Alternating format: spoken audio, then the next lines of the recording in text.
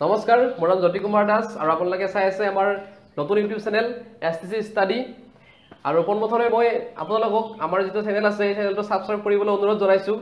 কাৰণ আমাৰ এই চেনেলটোৰ জৰিয়তে ভৱিষ্যতে শিক্ষাৰ লগত জড়িত বহুতো ভিডিঅ' আমি আগবঢ়াম। গতিকে চাই থাকক। আজি আমি আপোনালোকলৈ এটি নতুন ভিডিঅ' আগবঢ়াই দিম মই। আৰু এই ভিডিঅ'টো হ'ব শিক্ষকৰ ওপৰত। সাধাৰণতে শিক্ষক বুলি ক'লে আমি কাক বুজোঁ? যে শিক্ষক বুলি ক'লে আমি সেইবিলাক ব্যক্তিক বুজোঁ যিবোৰে আমাক জ্ঞানৰ পোহৰ দিয়ে। অৰ্থাৎ যদি কোনোবা এজনে আমাক কিবা এটা শিকাইছে সেইজনে আমাৰ শিক্ষক হ'ব। এই বৃত্তিটো কোনো এটা বৃত্তিৰ লগতে তুলনা কৰিব নোৱাৰি।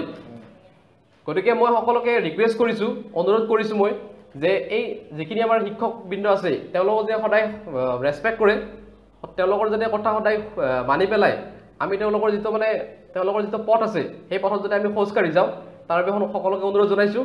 আৰু ইয়াতে এটা কথা ক'ব লগা আছে মোৰ আজি যে বহুতৰে মুখত এতিয়া শুনা যায় যে বৰ্তমান যিটো শিক্ষা ব্যৱস্থা এই শিক্ষা ব্যৱস্থাটো কি হৈছে? লাহে লাহে বেয়া হৈ গৈ আছে। ইয়াৰ বাবে জগৰীয়া কোন? যদি সেইটো কুৱেশ্যনৰ এনচাৰ আমি ক'ব যাওঁ তাৰ বাবে জগৰীয়া আমিবোৰ। আমি নিজে অৰ্থাৎ আমাৰ দৰে যিবিলাক শিক্ষক আছে সেই শিক্ষকবিলাক নিজে। অৰ্থাৎ যিবিলাক শিক্ষকে যদি কোনোবা এজনৰ ষ্টুডেণ্টৰ তেওঁলোকৰ অভাৱবোৰ যদি পূৰণ কৰিব পৰা নাই তেওঁলোকে কি কৰিছে? তেওঁলোকে হ'ল এই ব্যৱস্থাটোৰ কাৰণে দায়ী। গতিকে আজিকালি কি হৈছে মেইনলি যে যিবিলাক ধৰক আমাৰ বহুতো শিক্ষক দেখা যায় যে কিয় তেওঁলোকে নিজৰ দায়িত্ববিলাক পালন নকৰে ভালকৈ যে তেওঁলোকে যিবিলাক ধৰক শিক্ষক ছাত্ৰ ছাত্ৰীক যিবিলাক বুজাই কথা সেই কথাবিলাক ধৰক ছাত্ৰ ছাত্ৰীয়ে বুজি নাপায়। যদি কোনোবা এজন শিক্ষকে তেওঁলোকৰ ছাত্ৰ ছাত্ৰীক ধৰক কিবা এটা বুজাইছে যদি তেওঁ সেই ছাত্ৰ ছাত্ৰীজনে যদি বুজি পোৱা নাই কথাটো তেতিয়াহ'লে ডেফিনেটলি কি হোৱা নাই যে শিক্ষকে ভাল নিজৰ কৰ্তব্যটো সুচাৰুৰূপে পালন কৰা নাই। আৰু যাৰ ফলত আমাৰ কি হ'ব পাৰে আমাৰ যিটো মানে দেশ আছে দেশৰ যিবিলাক ছাত্ৰ ছাত্ৰী আছে সেই ছাত্ৰ ছাত্ৰীসকল হয়তো সঠিকভাৱে পৰিচালিত নহ'ব পাৰে। গতিকে আৰু এটা কথা মই ইয়াতে- ক'ব খুজিছোঁ যে আমাৰ দেশত বৰ্তমান থাৰ্টি ওৱান কৰোৰ অৰ্থাৎ একত্ৰিছ কৰোৰ ষ্টুডেণ্ট আছে বৰ্তমান। গতিকে একত্ৰিছ কৰোৰ ষ্টুডেণ্টৰ যিখিনি ভৱিষ্যত আছে এই ভৱিষ্যতক কেৱল আমাৰ শিক্ষকৰ মাজত সোমাই আছে শিক্ষকৰ ওপৰত নিৰ্ভৰ হৈ আছে। গতিকে আমি যদি শিক্ষকবোৰে যদি ভাল নহওঁ যদি আমি শিক্ষকবিলাকে যদি ভালকৈ আমি শিক্ষা প্ৰদান নকৰোঁ ছাত্ৰ ছাত্ৰীবিলাকক তেতিয়াহ'লে তেওঁলোকে কি হ'ব? বিপদে পৰিচালিত হ'ব।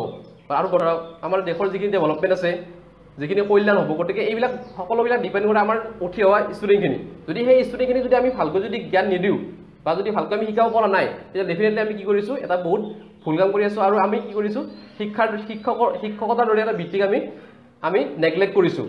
চ' এইটো একচুৱেলি হ'ব নালাগে যে আমাৰ যিখিনি আমাৰ যিটো শিক্ষকতাৰ যিটো বৃত্তি আছে সেই বৃত্তিটো আমি ভালকৈ পৰিচালনা কৰিব জানিব লাগিব আৰু লগতে তেতিয়াই কি হ'ব যিখিনি ছাত্ৰ ছাত্ৰীৰ যিখিনি ভৱিষ্যত আছে সেইটো ভাল হ'ব। আৰু এনেকুৱা নহয় যে কি সকলোবিলাক শিক্ষকে বেয়া। আমাৰ দেশত মই ভাবোঁ যে কি আমাৰ নাইণ্টি ফাইভ পাৰ্চেণ্টে আমাৰ শিক্ষকে ভাল। গতিকে যি ফাইভ পাৰ্চেণ্ট বেয়া আছে তেওঁলোকক মই হাত জোৰ কৰি অনুৰোধ কৰিছোঁ তেওঁলোকে যেন তেওঁলোকৰ ছাত্ৰ ছাত্ৰীসকলক ভালকৈ পঢ়ুৱায়। আৰু যিহেতু তেওঁলোকৰ এইটো বৃত্তি এই বৃত্তিটো তেওঁলোকে যাতে মূল্য বুজি পায় আৰু লগতে সেই মূল্য বুজি সঠিকভাৱে যেন শিক্ষা প্ৰদান কৰি যায় তাৰ বাবে মই অনুৰোধ কৰিছোঁ সকলো শিক্ষকসকলক।